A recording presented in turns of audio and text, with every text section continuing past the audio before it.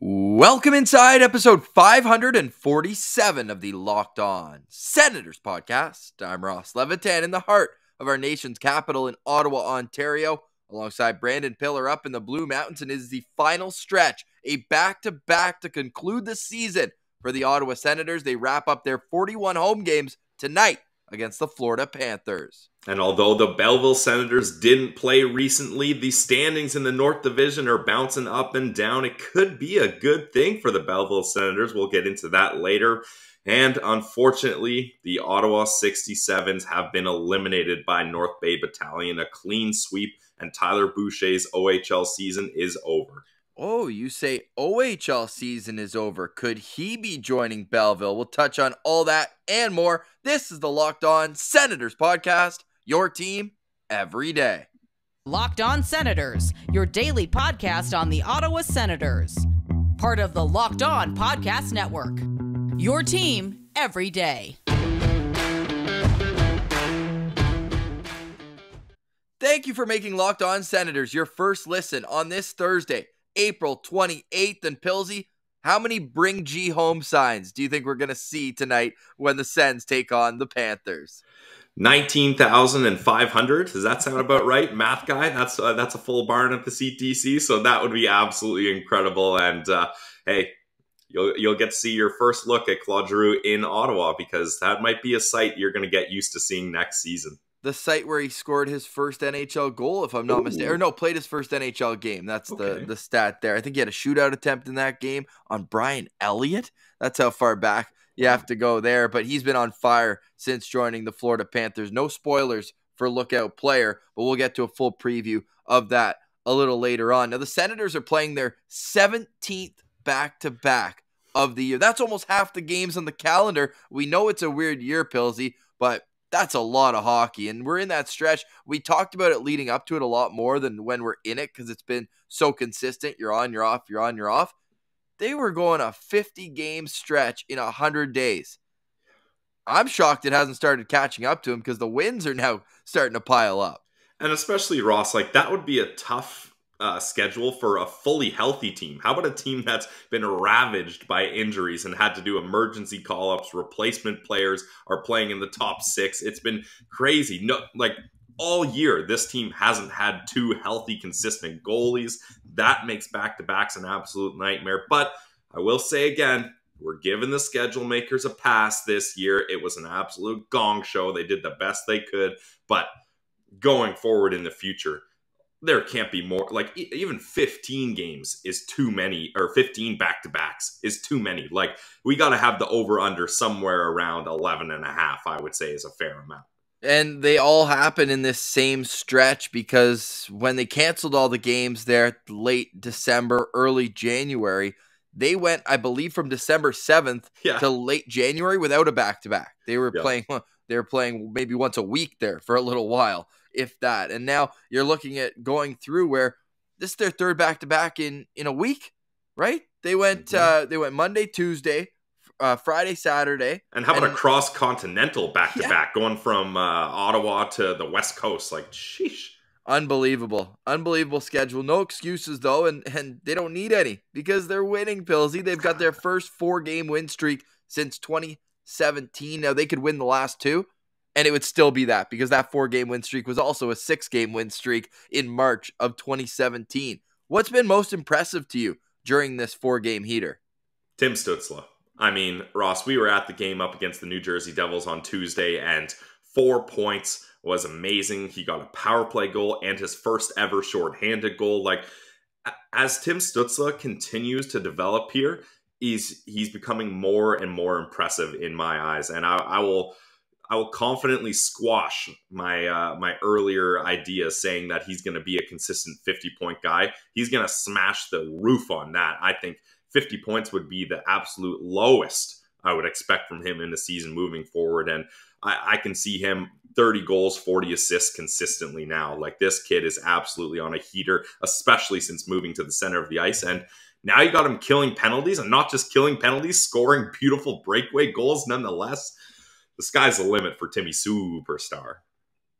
Great for the brand. Shout out Mhm. Wayne Scanlan putting that in his article yesterday with Sportsnet, a friend of the show. And you mentioned four points. I don't know if anyone caught it. That's a career high. Never had four points in a game before. Yeah. He's he's had three points four times this year and twice last year, including the hat trick against Winnipeg, his first career NHL hat trick. So that's a lot of times where you're flirting with four points, but to, to finally get there, and every goal mattered. It's a five four overtime win. He's Mhm. got points on four out of five of the goals. Man, that is that is truly a, a- an incredible accomplishment. I agree with Wayne Scanlan's article. It's the best storyline, not only of this four game stretch, but of the entire season. What's second to you? Because I have one in my mind that that's right right behind it. Okay. Um, I got a couple ways I'm going to go, but hashtag goalie friendly show. How about Anton Forsberg? I mean, the fact we we say it every time, Ross, but it it remains true. The fact that he has a winning record on this team is absolutely amazing. Like there's no there's no way around it. And the fact that he's so consistent, DJ Smith trusts him every night he goes in there. As a fan, I'm confident they can win any game where he's starting. He's locked up for three more years, under $3 million. Like the value there is just absolutely incredible. So, Anton Forsberg for me has to be the story. And Ross, of course, we did get a great answer from uh, Ian Mendes about is he the best waiver wire pickup in Sens history? And it was uh, Norm McIver, right? That's the Yep. name Ian dropped. And hey, getting 63 points and leading your team as a waiver wire pickup, you know, we'll we'll nod our hats to that. But it remains to be seen if Forsberg can be a number one goalie for four seasons as a waiver wire pickup. I think he takes the cake there. So we'll call it a tie for now. And as always, great info by Ian. Yeah, of course. So that's good stuff there from Ian. And not only that, it's better stuff from Anton Forsberg 21 17 and 4 with a 916 save percentage. And according to Hockey Reference, a 28 out of 43 of his starts were quality, which means an 89 or more save percentage with, or sorry, sorry, with better than the average NHL save percentage of the year on that night. So that's unbelievable. Put, to put that in perspective, Gustavsson has seven quality starts in 17 games. So you, you look at what he's been able to do, keeping this team in the game. He's got his glove hands just cooking this season. All the Oh, windmill yeah. saves. I can't wait for the highlight reel of that later on. But he will get the night off. He will play the final game of the season on Friday. And this all ties into Belleville because Mads Sogaard's hurt. And it's an unknown injury right now. We hope it's not serious. But Filip Gustavsson will start for Belleville on Saturday. So they wanted to get him in one more NHL game. He'll play tonight. He'll probably back up tomorrow in Philly and then go to Belleville for Saturday's game. Or maybe they call it Mando again. I'm not even sure if he's able to back up yet. I know he's been practicing, but um, the carousel in, in goal continues. And I think we mentioned it on yesterday's show. DJ Smith said they hope to get Matt Murray back, but neck and upper body stuff is uh, is He's the- not coming back. Let's the let's official diagnosis. That's going to be an interesting storyline to follow throughout the offseason, though. Has Matt Murray played his last game with the Ottawa Senators? Is there going to be a buyout? Is he on LTIR? Will he show up in shape at camp?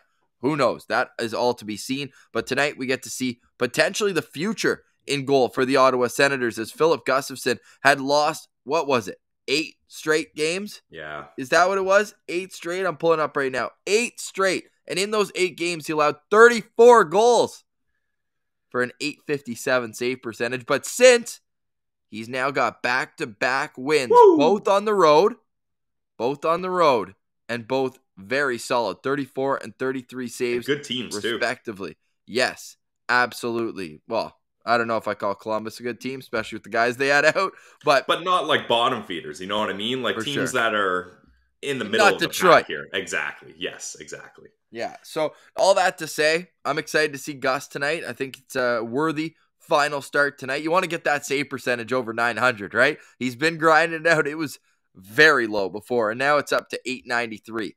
So a big night tonight. You can push that average up to over 900. That would be huge for his confidence going into the offseason. Ross, I'm a positive guy and I'm cheering for Gus, but I would say the likelihood that he brings his save percentage up up against the best team in the NHL is probably not very likely. Oh, come on. Even though it's a team that's resting players tonight, Yeah, yeah, even still. Yeah, sorry. All right, we'll tell you who the Florida Panthers are resting as they make their final visit to the Canadian Tire Center. A couple Ottawa boys in the lineup, not only Claude Giroux, but Mackenzie Weegar as well. The Florida Panthers looking to secure the President's Trophy. So this is not a meaningless game per se, but if you're resting players, well, it's certainly not full of meaning either. The Senators have a chance to extend their win streak to five games. We're going to get into a full game preview, let you know what's going on with the 67s, including Tyler Boucher. But first, Pilsy, it's bright in there. I could see it, man. It's sunny in Collingwood. I know you got your shady rays. Oh, of course, Ross. And I was rocking my Shady Rays the entire time, my six hour drive from Ottawa back to Collingwood. And they were keeping me uh, looking good and feeling good because not only are Shady Rays stylish, not only are they affordable, but they're also high quality sunglasses that maybe you're used to paying two, even $300 for this kind of quality. Forget that. Go to Shady Rays. You're not going to find, I cannot believe the insane protection program. You're not going to find this anywhere else. I promise you. Shady Rays includes lost and broken protection on every pair of sunglasses they sell. They'll send you a brand new pair if you lose them. No matter what happened, you don't need to have witnesses. You don't need to have pictures. You don't need to have a long story. They trust that you lost them and they're going to hook you up with a brand new pair as soon as they can. Give them a try. And if you don't love them, you'll pay nothing. It's as simple as that. So there's no risk. If you don't like them, they'll bring them back. If they break or you lose them, you get a new pair. There's Timmy's uh, Timmy saying is no risk, no fun. Well, how about the Shady Rays way? No risk and fun. That's how you do it with Shady Rays. And I can't believe there's even more guys. Every time you order Shady Rays, 10 meals are donated to fight hunger in America. So you're helping out less fortunate people. Exclusive for our listeners, head to shadyrays.com and use code locked on. You're going to get 50% off two or more pairs of polarized sunglasses. That's code locked on for their best deal of the season. Summer's almost here. Get your Shady Rays, guys. 50% off two or more pairs of Shady Rays sunglasses, backed by over 150,000 verified five star reviews. And I'll make that 150,001 verified review because I love Shady Rays and you will too. Check them out today, guys. Shady Rays. All right, Pilsy. So we should mention as well if you want to advertise with Locked On Senators and reach a passionate local audience that wants to support their own, you should you should reach out on Twitter at Sen Central, on Instagram, Locked On Senators, or through our YouTube page. We hope you subscribe on YouTube, Locked On Senators. We've got another great interview coming for you tomorrow, which I will not tease until it there is you go, Ross. Recorded. There you go. credit, credit to me. Yes. Credit to me. Um, and credit to the Ottawa Senators because they've turned their season around. And what do you say to the people who say, too little, too late? Who cares? They should be in the tank. They should be gunning for that top overall pick. This is just the same bad habits they got in last year where you make the games meaningless and then you win those meaningless games. I mean, it's it's tough to argue that because this is a second year in a row that this is happening. And last year, Ross, we we were pretty fired up about the end of the season and thinking that momentum was going to carry on. Victor Mete, 50 point guy. Let's go. He's buzzing. Yep, Erik Brannstrom was looking good. Uh, so there there was a lot of optimism, and and there still is. And hey, I if you ask me, Ross, do you want to finish the season with a six game win streak or a six game lose streak? I'm taking the six game win streak every single time. So I don't have a problem with that. And it's nice to end the year off with some smiles as we did. And speaking of smiles, Ross, how about team photo day? Ooh. The boys are looking good. Those Sharp. are some, some crispy photos of the boys. So bad day to be hair gel. yeah, that's for sure. So uh, yeah, I, I, think it's fine that uh, that they're winning these games, and no, it doesn't really matter where the Sens pick. They're they're gonna take their guy, whether they're picking first or tenth. We know that, so I'm not caught up in that. And if you're cheering for losses, head on down to Arizona or Montreal because uh, we don't need that here. Um, question: Will the Senators use their first round pick this year? Oh, absolutely. Yeah. I don't think they do. No, I don't like that. You I think can't... Minnesota will be using Ottawa's first round pick.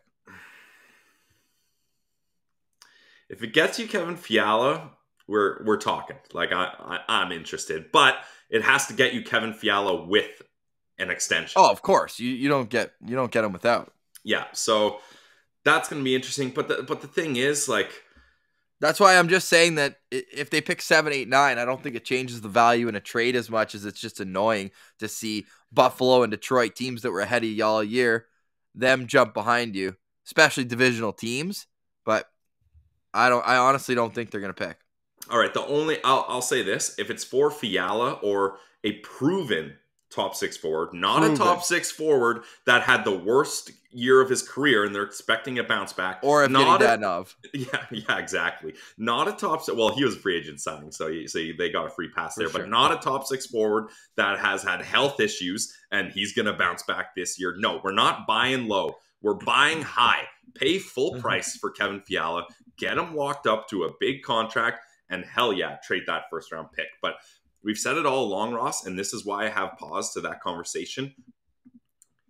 In recent history, who do you trust more, the pro scouting or Trent Mann? Yeah. I'm going Trent Mann. So that's why I feel more confident about the Sens picking someone rather than uh, using it to acquire a veteran. But I, I'm salivating over all these Kevin Fiala highlights. Like it, it's absolutely filthy what this guy's able to do. And if you could get him up um, with Timmy and Batherson, oh my god, like the Sens would have an amazing top six, an incredible top six. And it would probably cost you more than that. To put it in perspective, he's got uh, 84 points in 80 games, plus 23, 52 PIMs, little grit there as well. And, and Ross, uh, what's uh, are you on Hockey Reference right now? No, I'm not. I'm on. Oh, okay, I was gonna say do the splits for first half of the season and second half of the season because his second half of the season has been out of this world.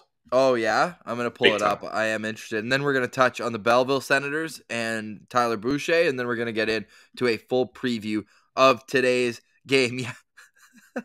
Yeah, yeah. Since the All Star break, he's got 50 points in 39 games, and yep. then this month he has 23 points in 14 games in, in the month of April. So yeah, safe to say he's and, heating up and not just like greasy garbage goals or secondary assists, like highlight real plays night after night yeah. after night.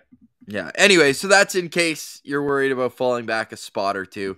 I don't think it's the end of the world either way. Even if they do end up using the pick, they're going to take their guy. And from what I can tell, this this draft is pretty up in the air. But you know that we're going to turn our attention to that very soon. We're also going to follow our Sens abroad. Big hit for the Sens abroad with the Vegas Knights officially eliminated from the playoffs. No Mark Stone, no Robin Lehner, although he was already out with surgery, so he was going to miss the postseason. Anyways, you know what? It's bad karma for a bad team who no doesn't care about their players. Yeah, exactly. So, yeah, yeah, fair, fair. Uh, not like Anaheim was about to make it either, but we will have our full Sens Abroad list. Have you seen Erik Gudbranson's at like a 60% Corsi this year? I don't know if it's something in the water in Calgary or what, but that's going to be a hard team to take out. There's going to be a lot of great matchups, and we're going to be your home five days a week, Monday through Friday, with a Sens angle on the postseason as we also prepare for the NHL entry draft and eulogize what was an extremely confusing season for the Ottawa Senators. Some some very high highs and November instead of some very, there was also November this year. So the Senator season might be over. Belleville Sens still underway. They play on Saturday. Pilsy, tell us what the situation is, where they can move up, and how it would affect them going into the postseason. Okay, Ross, after some revisiting, I, have recalculated. Remember yesterday, we were like, oh, or at least I was like, oh, maybe you want Laval to win one, then Toronto, and then Belleville beats uh, Toronto after. No, you want Toronto to win both of these games, and they did win last night's game. And regulation? Uh, I think regulation. I didn't look at the game. I've just been watching the standings and the nice. standings, Ross. Actually, no, got to be regulation. Yep. Oh, yep. OT, OT. Oh, damn. Okay. Whoops. um, but look at the winning percentage now. The Laval yep. Rocket now sit at a 0.579, and Belleville is right there Ross, they're clawing up to Laval, just like that guy in the painting behind you trying to climb up that cliff. Um, if you're watching on YouTube, you'll understand that. But they're just 0.2 behind. Belleville sits at 0.577%. So, like, it is damn close. So, if Toronto wins again tonight and then Belleville wins, there it is up on YouTube if you're watching at home. If Toronto wins in regulation and Belleville beats Toronto, they're firmly in third place and they get a bye, so they won't have to play that play in series, which would be awesome.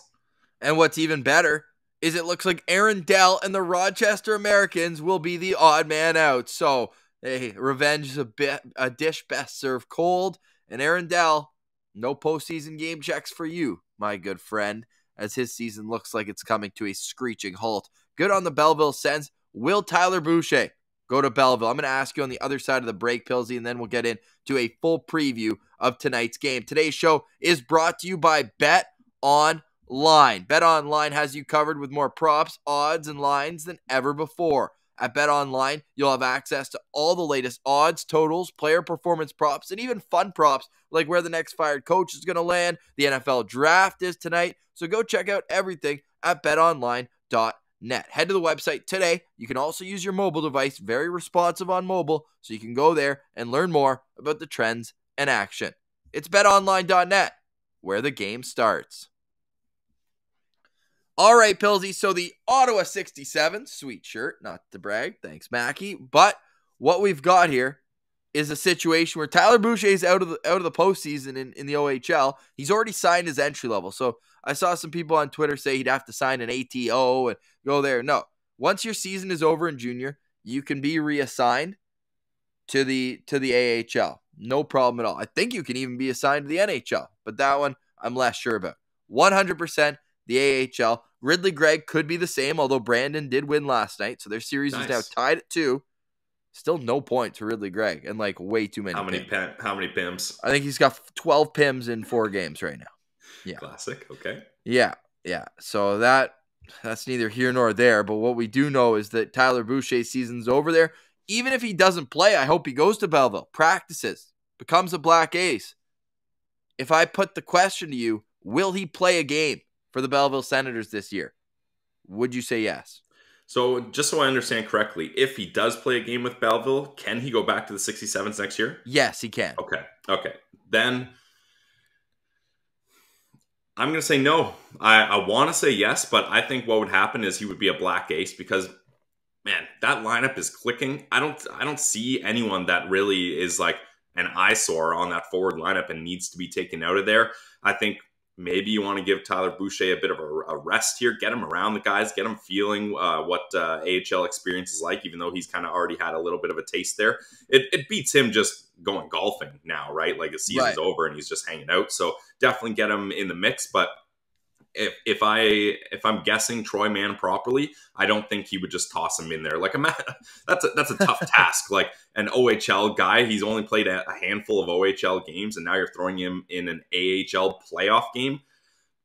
Probably not going to happen, even though the fans and myself included would love to see it. Right, but if it, if Ridley Greig's in the same situation, he plays. Yes, 100%. That's a totally different scenario, right? Like Ridley Greig has played multiple seasons in the WHL. He's a, an older player. He's got more experience. He's dominating at junior. He's played for Belleville too. He got seven games in before the WHL started back up. Exactly. So uh, that's a whole nother conversation. And if Ridley Greig ends up uh, finishing early, I could see him getting a spot in that lineup. One guy who will not be finishing or not be coming to Belleville, Carson Latimer, still in that prospect phase. He'll stay with Prince Albert, but he had an assist and they got the win against Attaboy Winnipeg. Lots. So they are not being swept, although they lost game three 10 to 1. They were able to win 3 1 in game four. So they're bringing that back to Winnipeg for game five this weekend. Uh, whereas uh, yeah, that's Ross. Pretty that reminded me of um, uh, who who was it when Winnipeg leaves and the guy says, "We're bringing the cup back to Winnipeg." Who who made that big speech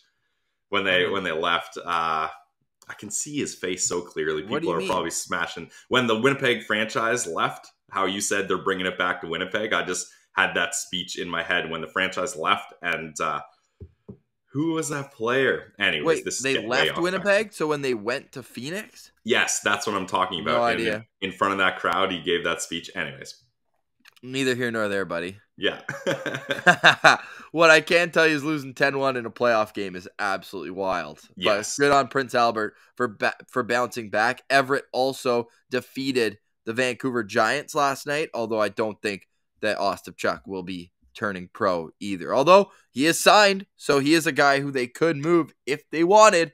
He Yeah. could be a guy who would go to Belleville. But hey, I keep him in junior a little more. Yeah. Uh, well, that's the thing. They can all go back after, so it's at the point where you just kind of, if you want them to get more experience, why not? It's a year that last was such like a lost year for prospects. Why not get them around the guys? But I don't think we see Ostapchuk in a game by any stretch. But I just don't think it can hurt to have as many black aces as Yeah. possible. So bring them all in, as far as I'm concerned. Uh, there is only one game in the uh, WHL playoffs. So uh, Ridley, Greig, Carson Latimer, Ostapchuk, they're all back in action on Friday. Okay, let's get to the Ottawa Senators. They are 6 1 and 1 in their last eight games. They're beginning their final two game back to back of the regular season. Game 81 tonight against the Florida Panthers. And let's start with the opponent, the Florida Panthers. Their record is 57. Yes, 57 wins, 17 losses, and six overtime losses. Now, if I was a hater, which I'm not, I'm firmly on team win the cup Florida so that Claude Giroux gets his cup and can come home. But if I was a hater, Pilsy, I would bring up the fact that despite being first in the National Hockey League in points, they have two more points than Colorado. So as I said, not a completely not a completely nothing game tonight for them. They only have 41 regulation wins, Pilsy, which puts them in seventh in the National Hockey League. Does that worry you for them going into postseason play? That they haven't been dominating the same way? Like Carolina and, and Colorado have 46, five more regulation wins than Florida. No, it doesn't bother me because I, I'd be interested to look at the splits before and after the trade deadline, right? When you add Ben Chiarot, you add Claude Giroux, and I feel like they added one more guy, maybe not, but those are two major pieces that are were added to this lineup. So maybe if they weren't getting it done with um, the reinforcements, but I seem to recall a 13 game win streak in Yeah. recent history, so I don't think they're struggling too hard to uh, to win games here. Pilsy, I can tell you they've got nine regulation wins since the trade deadline. It's not not first by any stretch. It's actually um it's a tie for fifth, but it's like a seven way tie for Okay. fifth. So out of their 15 wins, nine of them have have been in regulation. So, anyways, just something to think Yep, about. definitely.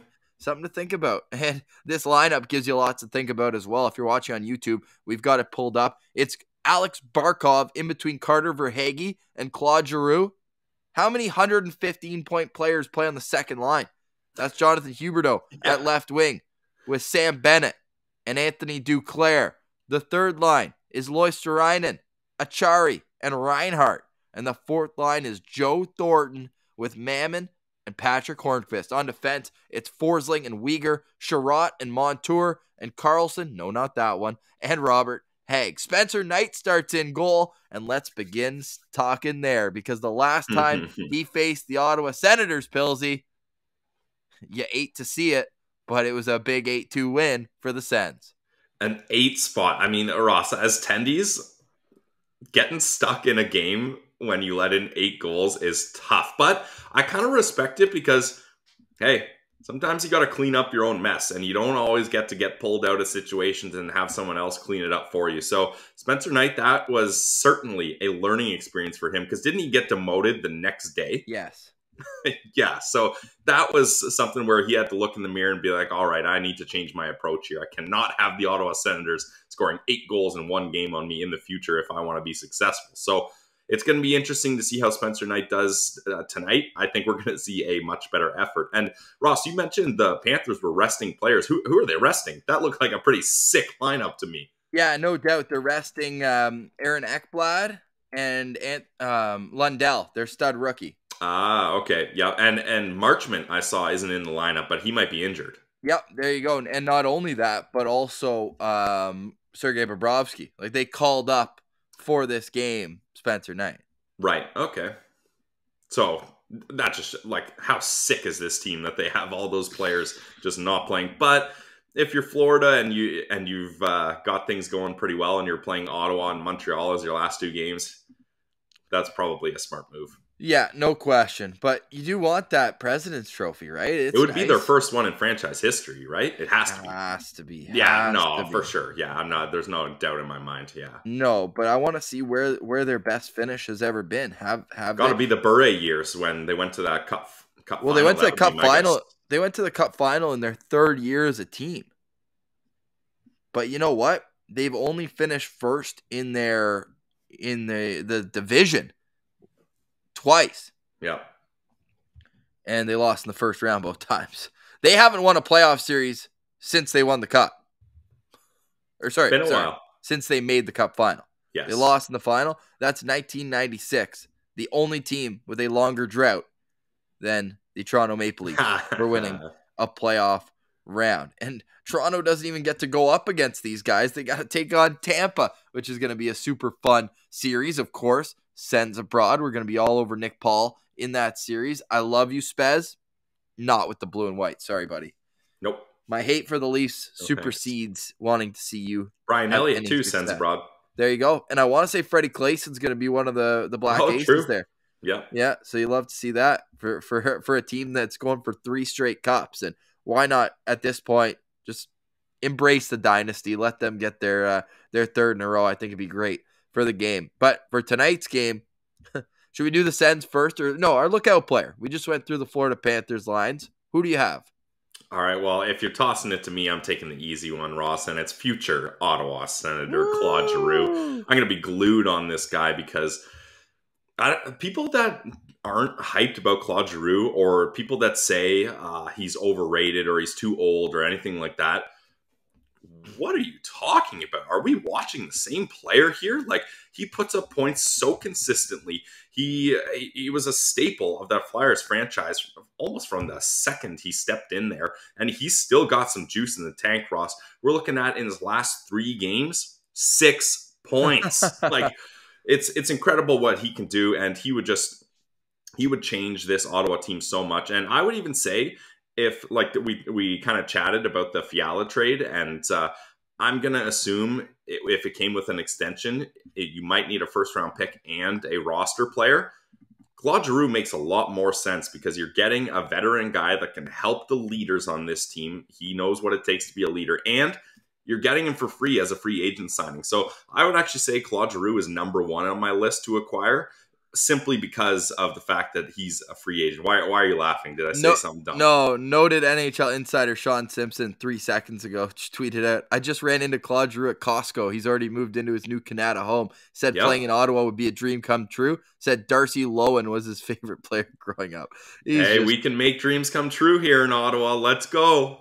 Darcy, Darcy Loewen played two years with the Ottawa Senators from 92 to 94. He played uh, about 130 games, had four goals, and 200 penalty minutes. That reminds me of Brady's favorite player, Barrett Jackman. What an answer.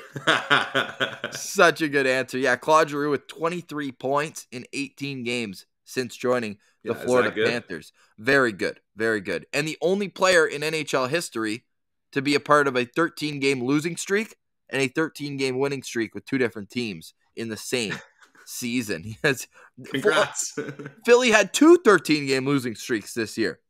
That's Good- absolutely insane. Wow. Good to see Giroux doing well. One block shot in 18 games, though. Does he care enough? Yeah, he certainly does. Sick vision, great player. Would be awesome to see. Is tonight a scouting night? We know that he's doing his due diligence on Ottawa, so wouldn't it be great for the Sens to have a good effort tonight? I'm gonna be lo- I'm gonna be looking out rather for Jonathan Huberdeau because I want to see what the hype's about. A lot of people have him in their ballot on the Hart Trophy. A lot of people are saying He's analytically.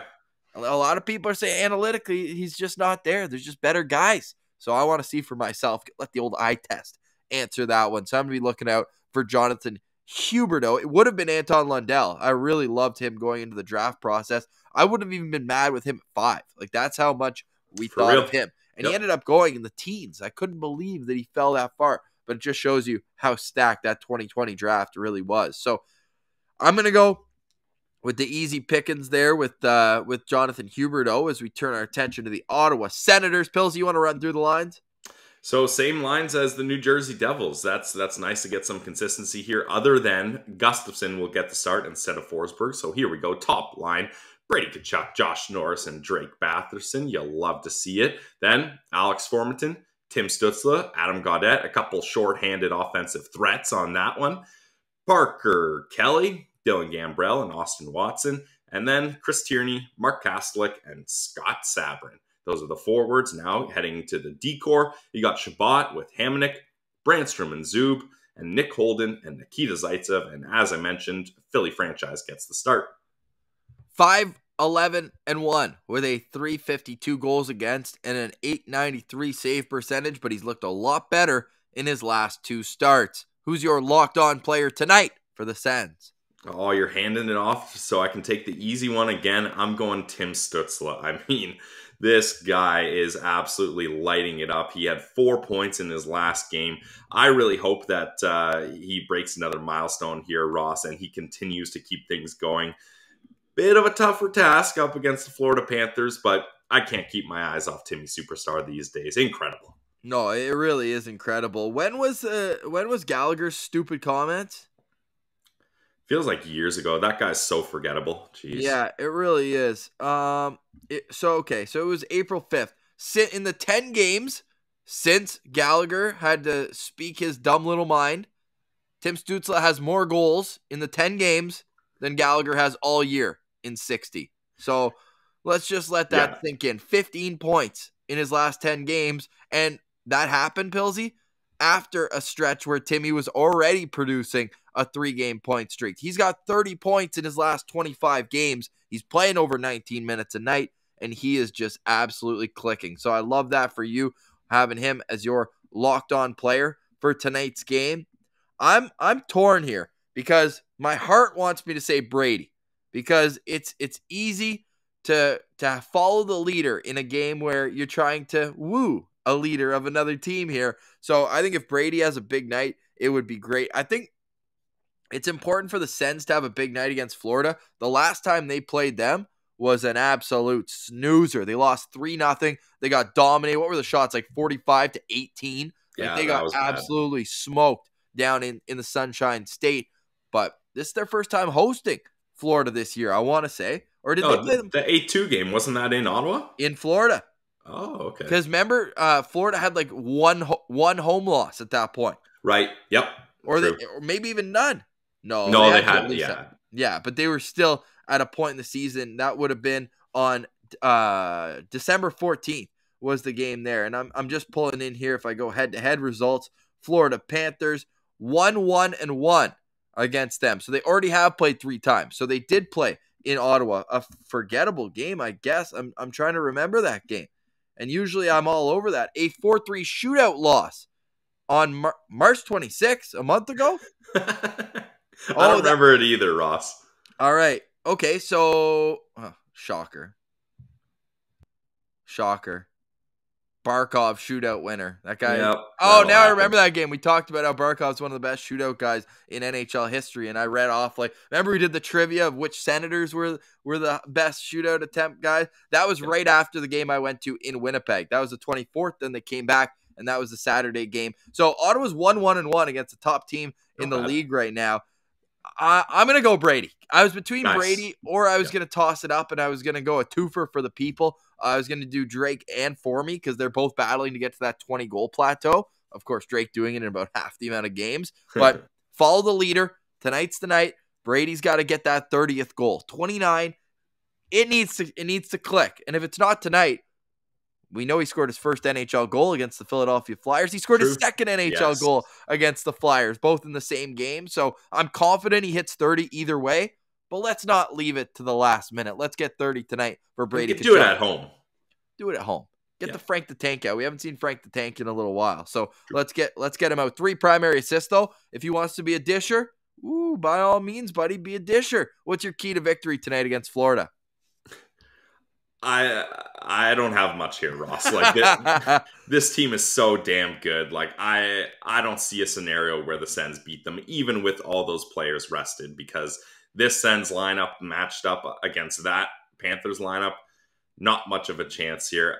If I'm given something, just get pucks on net. Like I, that's it. Like you can't like don't be fancy. You're not gonna get great scoring opportunities. Just try to get some greasy goals, some tips, some deflections, crash the net.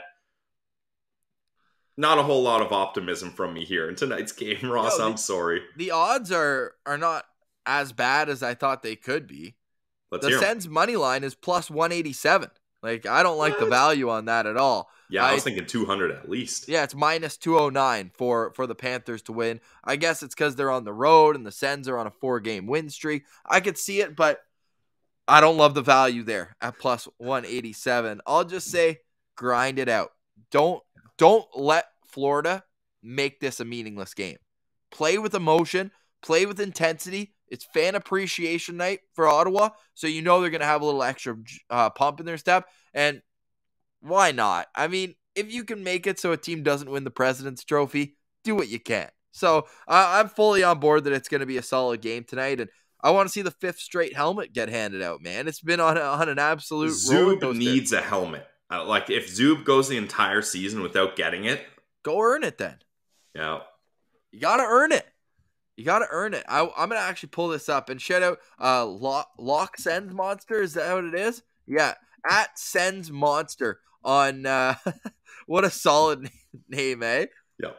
Uh, so he's been doing the the helmet leaderboard. So I'm gonna pull it up right now here on uh, on our YouTube channel. Again, we're free and available wherever you get your podcast, but we love seeing that subscription number rise on YouTube. We are ever so close to 2000 and that's mm-hmm. going to be a nice jumping off point for us. And here's here's the power rankings right now. The helmet leaderboard and that Gambrelman was from the game against the Florida Panthers if I'm not mistaken.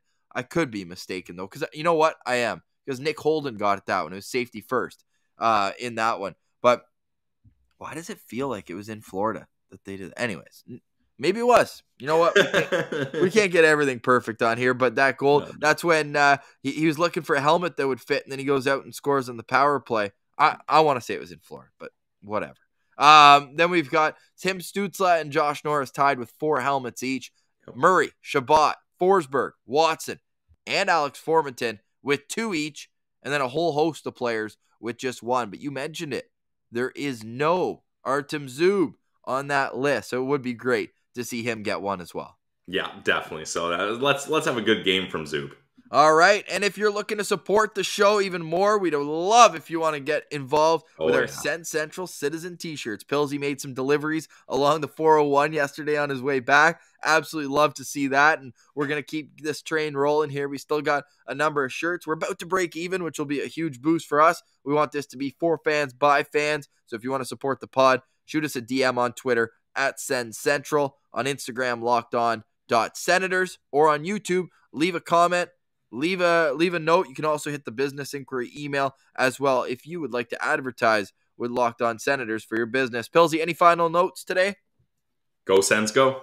All right, enjoy the final home game of the Senators yes. regular season. It's sad to say, but next year it's got to be the year buddy right? It's got to be the year next year that they take a real step forward. The ottawa senators are 15 21 and 4 on home ice in 2021 2022 they have won though four in a row overall and they'll look to extend that to five. It will catch us on the postcast after tonight's game. For Brandon Piller i'm ross levitan. This has been the locked on senators podcast your team every day